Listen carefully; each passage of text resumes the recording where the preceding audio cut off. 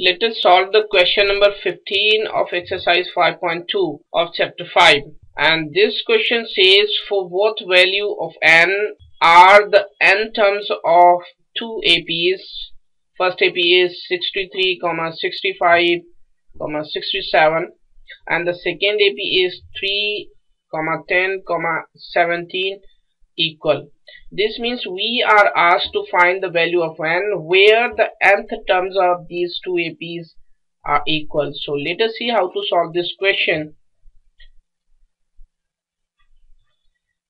Let the first AP, AP first and that is 63, 65 and uh, 67 and again we let a be the first term and D be the common difference of this AP.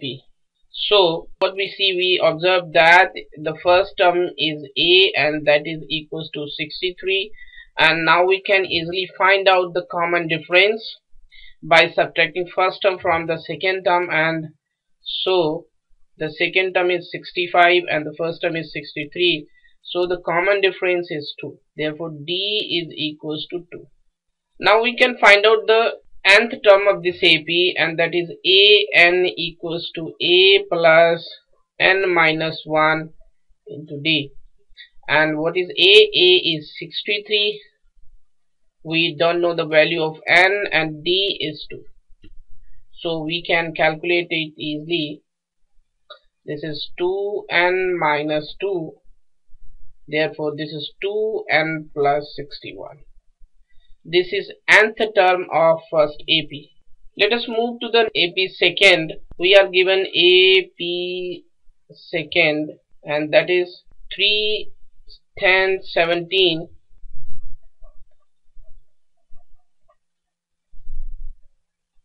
So we let A1 be the first term and D1 be the common difference of AP second.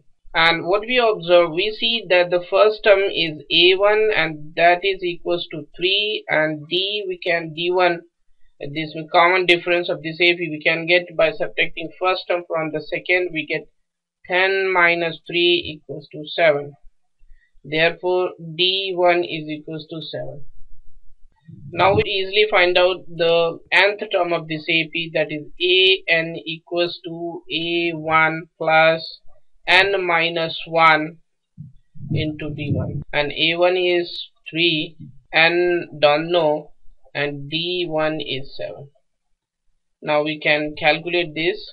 This is 3 plus 7n minus 7 and that is equals to 7n minus 4 so the nth term of the second AP is 7n minus 4 and we are given that both the n terms are equal.